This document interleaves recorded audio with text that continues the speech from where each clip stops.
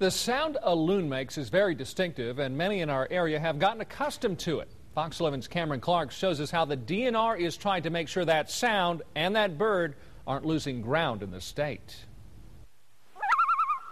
The call of the loon, it often echoes across the lakes of northern Wisconsin. I hear and see them all spring. Terry Mady heads up investigations for the Shawano County Sheriff's Department, but is also a member of the waterfowl conservation group Ducks Unlimited.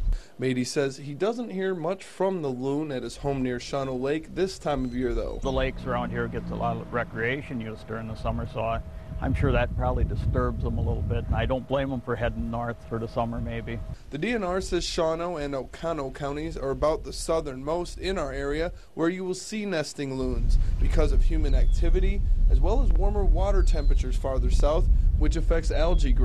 Water clarity is very important to them in terms of being able to find you know, their fish underwater.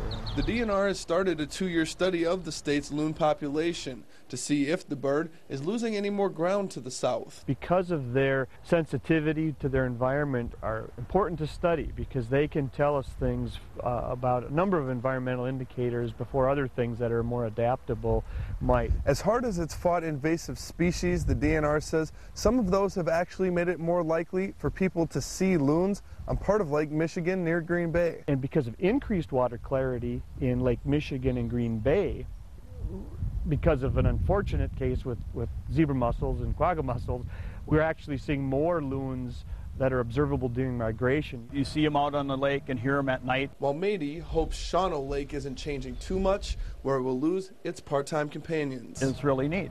You'd be ashamed to, to lose that. In Shawano, Cameron Clark, Fox 11 News. The DNR estimates uh, there are a few thousand loons in the state of Wisconsin. The agency says the bird is very territorial and will never be as densely populated as other fish-eating birds.